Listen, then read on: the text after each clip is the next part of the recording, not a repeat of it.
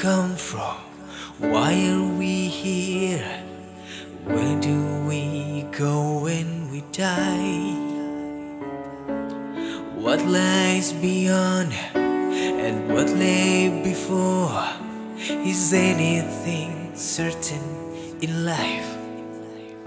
They say life is too short, the here and the now, and you're only given one shot. But could there be more? Have I lived before? Or could this be all that we've got?